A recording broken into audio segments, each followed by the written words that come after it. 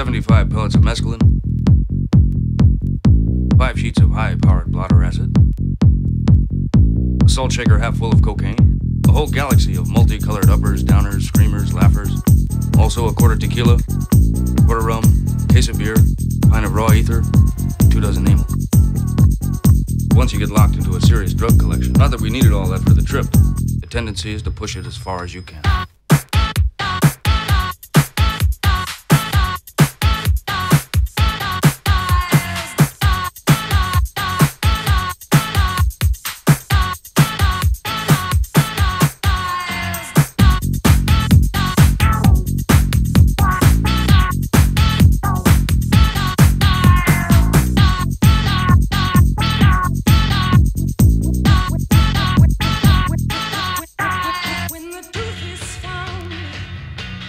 To be